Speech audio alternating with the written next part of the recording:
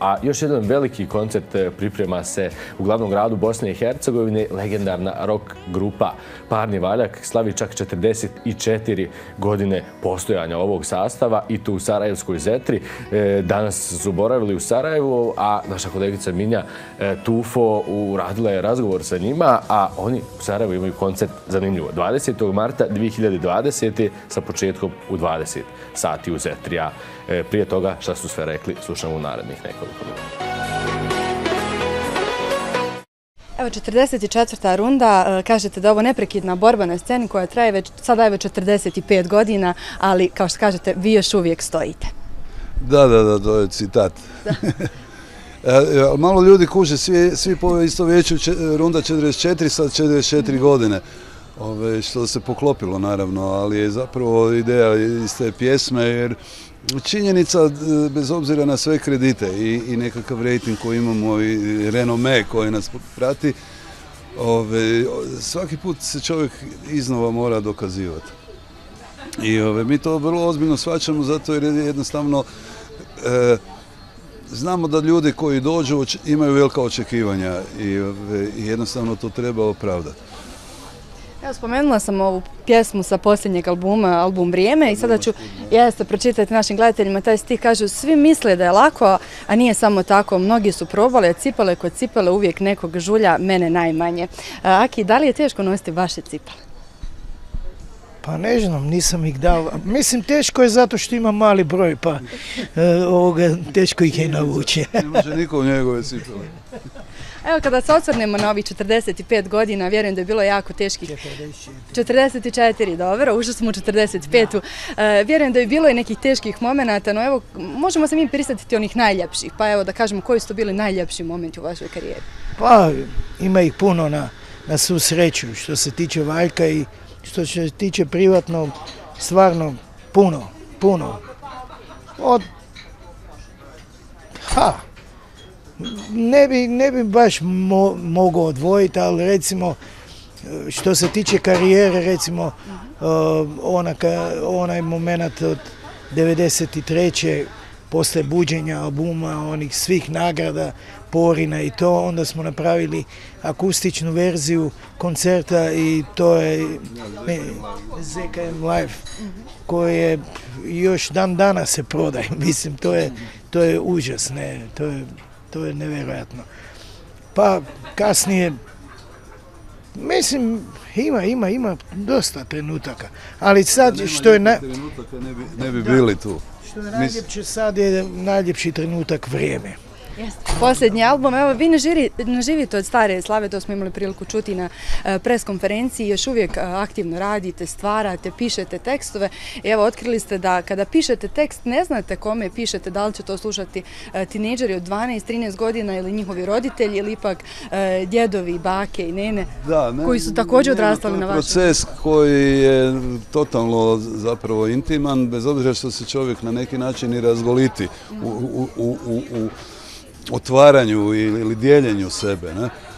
Ali ne, jednostavno nešto izlazi i sad ako razmišljam ko bi to mogao slušati i uh, identificirati se sa, sa uh, tom emocijom ili nekim stavom koji izlazi iz tih tekstova, ja, ja, onda to pojednostavim na isto mišljenike.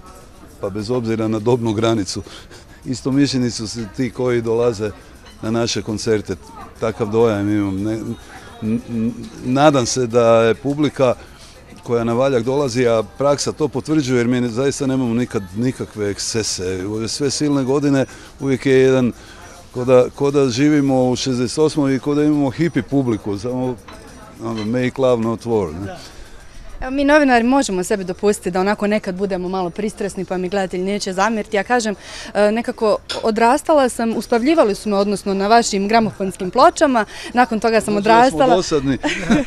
odrastala sam na kasetama, na CD-ovima, pa evo ne znam sad na čemu baš sve slušam na, na YouTube-u i na, na mobitelima. E, rijetko je zaista da jedan bend ima publiku od četiri generacije. Evo sada na koncertu u Sarajevu dolazim sa majkom, e, vjerujem da je to posebna energija i na sceni koju vi osjetite. Pa je, ti neki novi klinci koji su se pojavili, recimo, ajde, prije 5-6 godina. U stvari od onog ponovnog skupljanja 2009. 2010. godine kad smo ono, u, u dva dana rasprodali dve velike arene u Beogradu i šta ja znam. Onda smo vidjeli da, da ima ono, baš neki novi klinci koji su vjerojatno zahvaljujući i porodičnom onom nekakvom nasljeđu upozna usmena predaja i nikad nisu nas gledali uživo na koncertu, da vide taj band koji uvijek je ono najbolji band koncertni i to sve skupa. I kažem, to mi je jako drago da ti klinci, evo ih uče reći, više su se vezali za ovaj naš novi period, znači nove pjesme i sve to, a ovi stari još uvijek čvrsto se drže za one pjesme što ih vežu ne, iz svog vremena. Ne? A kakva je kod vas situacija, ili imate vi svoje favorite? Pa dobro, teško sad pitat da li imam ja svoje favorite. Ok, sad ja uvijek potenciram Otkud ti pravo, to je pjesma koja je meni draga i, i sve, ali vrijeme i to, sve pjesme su mi drage, ali ovo Otkud ti pravo mi je onak. A Hus, kakva je kod vas situacija, je li isto? Pa ne znam, e, e, mislim ja ko, ko autor e, imam podijeljene osjećaje. Ima pjesama koje, na koje bi mogu biti ponosan jer su daleko dobacile, ali ima pjesama koje su jednostavno, ne znam, za malo nježnosti uzmimo. To je forma pjesme koja nije, nije mogla zaživjeti na radiju kao uh, uobičajeni formati od tri minute jer je šest i pol minuta traje, kompleksna je, treba je puno puta čuti da čovjek ubere, ali recimo autorski sam na nju ove, e, izrazito ponosan, a ima pjesama koje su onako nastale u nekom trenutku e, pa su bile hitovi, ali nemaju, nemam taj dubinski, dubinsku povezanost sa njima. Ima dosta pjesama, teško mi je reći s kojom bi volio da me da me se sjećaju kad me ne bude, ali bi više volio otkuti pravo ili ne znam, molitvu nego lutku za bal. Iako obožavam lutku za bal zato jer je pravi rock and roll, ali ono neka subjektivna, autorska, e, e, e, ne znam kako bi to uopće, sujeta zapravo me tjera da, da ove su mi pjesme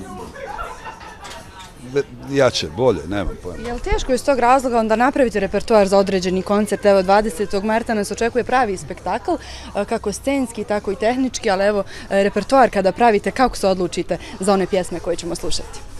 Pa već, mislim, repertoar je, turneja traje od prošle godine, od Kanade kak smo krenuli, ali dobro, ovi veliki koncerti koje su, mi smo formirali definitivno u playlistu, dobro, možda tu i tamo u nekom gradu dodamo neku pjesmu i to ja bi samo dodaval, dodaval, a ovoga onda bi trajao koncert četiri sata, ali manje više, evo, dobro, neću oda taj Ne, ne, e, problem je naravno playliste složi zato jer je nemoguće odsvirati sve što neko u publici želi čut. Uvijek je nakon koncerta, a se ovu ili onu ili... E, otprilike koji je proces? E, gledamo liste turneje koju smo osvirali i jednostavno ono promijenimo, mora biti barem 50% drugačije jer je potpuno besmisleno ponavljati jedno te isto. Nit bi nama to bilo uzbudljivo da je stalno isti obrazac od početka do kraja, mislim gdje je tu uzbuđenje. Ne? Tako da rotiramo, s obzirom da je prije dvije godine kad je objavljen e, album Vrijeme, onda je logično da, da molim? Da, ove, logično da, da dobar dio tih pjesama sviramo, iako su one ko singlovi neke bile i prije albuma i, i imaju neki život u eteru, ali dobar dio koncerta su te pjesme, onda neke koje nismo dugo svirali, ono godinama nismo svirali recimo Mir na jastuku, pa smo vratili ajme svirat. I naravno ono obavezno štivo bez kojeg bi stvarno ljudi bili razočarani da ne čuju jesen ili ne znam, dođi ili sve još miriše. Tako da, mislim, to su slatke muke. Kad, kad ovdje imaš višak pjesama, to je puno, puno bolja situacija nego kad imaš dve, tri poznate, a ostalo je Ja sam imala priliku, moram priznati, slušati vas na velikim koncertima pred desetinama hiljada ljudi i na intimnim koncertima gdje je bilo svega nekih stotinjak e, ljudi. Jaki e, energija koju vi donosite na scenu je uvijek ista. Ne može se napraviti razlika između velikog i ako ga možemo uopšte nazvati malog koncerta. Ne, pa stvar je uživanje, u stvari ovo što mi radimo, mi uživamo. Mi kad sviramo te pjesme, jednostavno uživamo, a i to uživanje se prenese na publiku, pa bilo ono sto ili deset hiljada. Da, Ne, baš dobar primjer. Ima recimo u Ljubljani ima jedan klub Cvjetličarna se zove.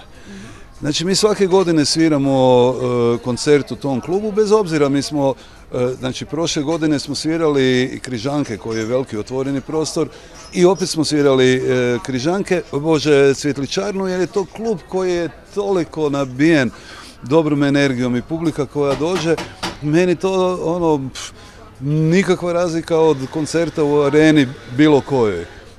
Što se energije tiče, svega baš pravi onako rock and roll prostor i prava rock and roll publika i, ove, i ta nekakva energija koja je prisna, blizu su ljudi, vidimo ih u oči. E, veliki koncerti imaju neku drugu priču, to je zastrašujuće kada izađete na binu pred ne znam 20 ili 50 tisuća ljudi što nam se naravno isto do- događalo to je opet neka druga moć koju osjetite te publike i te energije sve mora biti nešto veće, sve, sve, sve, ono ko kazalište, film, e, kamera ti je blizu pa malo glumiš, a kad si u kazalištu mora biti glasnije, mora biti veći pokret. Tu su neke razlike, ali uživanje, ja ne znam čemu bi dao prednost. Ovo je, ovo je ono baš krv, znoj i suze, to, to je baš ono suština e, rock'n'rolla, band, publika u nekom klinču bliskom. Idemo na binu, oni već pjevaju. Nije važno koja pjesma, oni s pjesmom nam do- dočekuju i s pjesmom nas ispraćaju. Fenomenalno. Završimo koncert i bi sve i u garderobi, a čujemo ljudi još pjevaju I zabavljaju. vama nije teško da se vratite. Nije nam, ne, ma naravno, pa kad... Ali mi imamo sreće s publikom, zaista, e, ne, ono, baš jednu iz- izuzetno pozitivnu, pozitivnu ove, vibraciju i energiju dobijamo od publike. Znaš, kad izađeš i kad osjetiš da si dobro došao, mislim, odmah ono, krila narastu, mislim, odmah ti je lakše, to je čarobno. Hvala vam puno za izvojeno vrijeme i za ovaj razgovor. Ja vjerujem e, da su naši gledatelji već obezbijedili svoje karte, još jako malo karata je ostalo jer je Sarajevo spremno da uhvati ritam 20. Tribina marta. navodno nema, što lijepo, znači da je puno karata već prodano. Znači sad očekujemo još ove koji će doći plesat. Hvala vam još jednom. Hvala i tebi.